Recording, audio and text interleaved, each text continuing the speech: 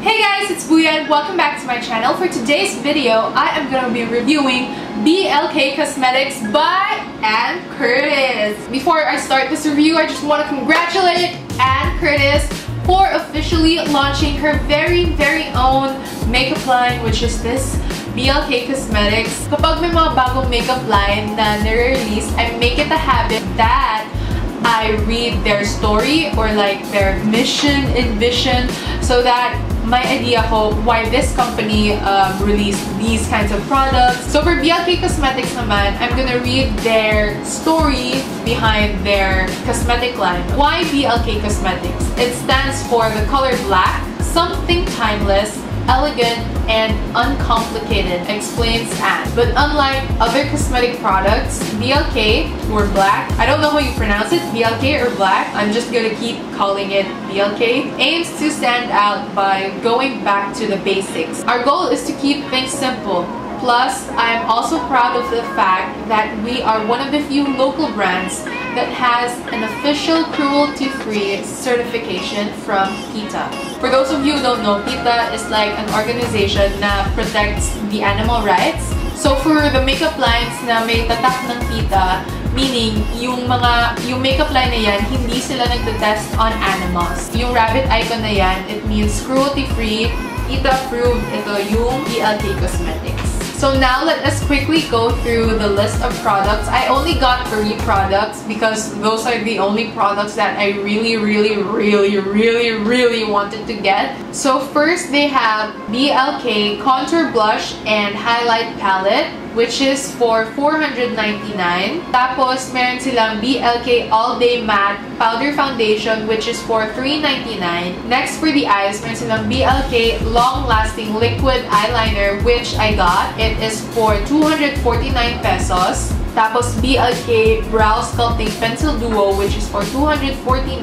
And then for the lips, we have BLK Long Lasting Liquid Matte Lipstick which I also got. Then BLK Velvet Lip Cream which is for 299. And lastly, they have BLK All Day Intense Matte Lipstick for 299. So the products that I got are long-lasting liquid matte lipstick in the shade Brazen, Um, kinuha ko to kasi yung pagka-red niya, super eye-catchy talaga. And then, next, I got another red shade. All Day Intense Matte Lipstick. It's in the shade Brave. And then, for my eyes, I got long-lasting liquid eyeliner in the shade Black. So right now, I'm gonna arm swatch the long-lasting liquid matte lipstick in the shade Brazen.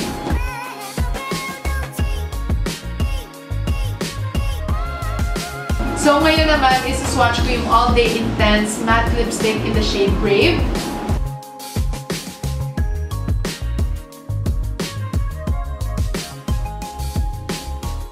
Ito, may pagka-similar sila ng shade, pero ito, slightly, a little bit darker lang siya, yung shade na Brave. Ito, medyo lighter siya, yung shade na Brazen. Next, ay suswatch ko yung long-lasting liquid liner nila.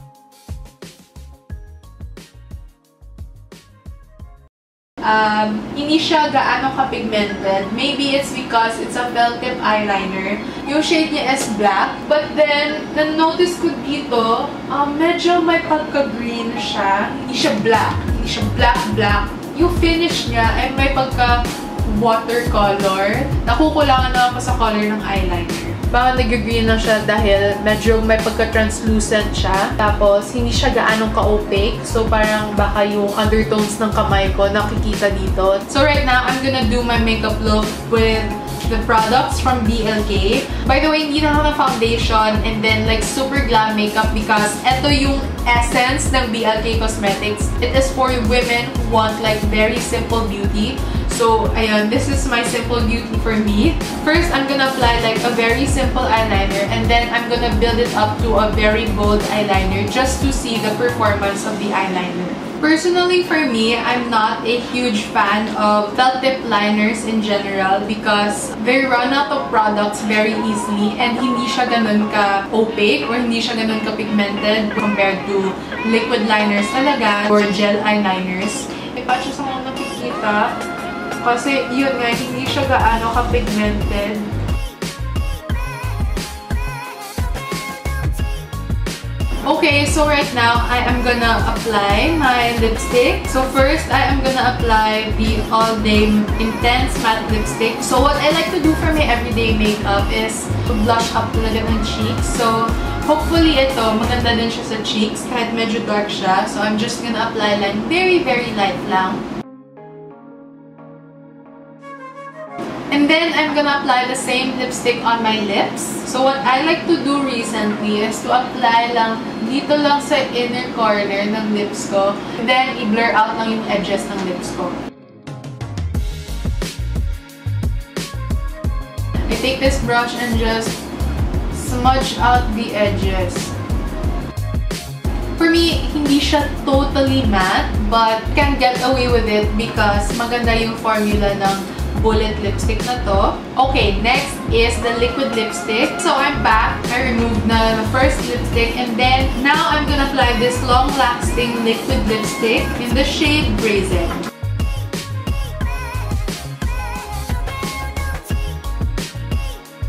So we'll just wait for it to set to really see yung pagka-matte niya. Right now, I'm looking at the viewfinder and I'm really, really loving this liquid lipstick, yung color payoff niya, shocks, ang ganda. The red is really popping.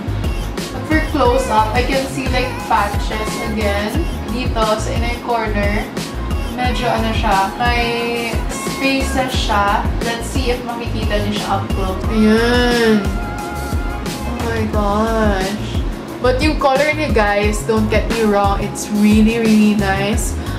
But, ayan siya. I don't know if it's my application or what, but usually sa iba kong liquid lipsticks, I don't get this kind of patchiness. Ayan siya. I love this shade, but please, please, huwag ka na maging patchy. Ayan, compared sa first coat ko doon, wala na siyang patchiness. But yun lang, um, nakakapanginayang nga kasi ang ganda ng color. But then again, I can forgive the formulation kasi maganda yung shade and then this is the first time Anne released her makeup line so I can forgive her. This is an opportunity to improve. But for the shade, giving it an A+. Yan, so this is my final look now with my lashes on and yan and I added freckles just to channel my inner Anne Curtis. And before I forget pala, I will pop on the screen the list of branches na available na yung BLK Cosmetics. So, available ng BLK Cosmetics sa Watson's SM Mega Mall Daimaru, Watson's SM MOA Main Atrium, the SM Beauty Store section SM Makati, SM Cubao, and SM North EDSA. So right now, I'm gonna give my final review on the product. Mag-rate ako ng flaming emojis 5 being the highest and 1 being the lowest. First, the liquid liner. I'm gonna give the long-lasting liquid eyeliner 3 flaming emojis.